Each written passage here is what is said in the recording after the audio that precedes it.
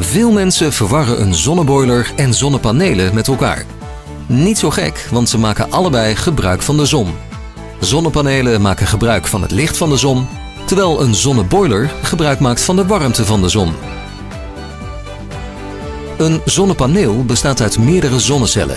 En een zonnecel bestaat uit twee lagen silicium waartussen een elektrische stroom ontstaat als er licht op komt.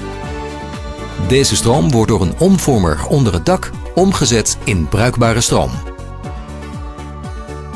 Uw meterkast verdeelt de stroom door het huis.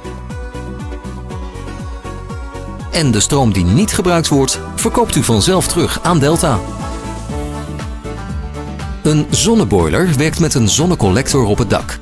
Hier stroomt een vloeistof doorheen wat door de zon verwarmd wordt. Een pomp brengt de vloeistof naar de boiler, waar deze zijn temperatuur aan het leidingwater afgeeft. Het leidingwater wordt indien nodig nog naverwarmd door bijvoorbeeld UCV-ketel en is dan klaar voor gebruik in de badkamer of keuken.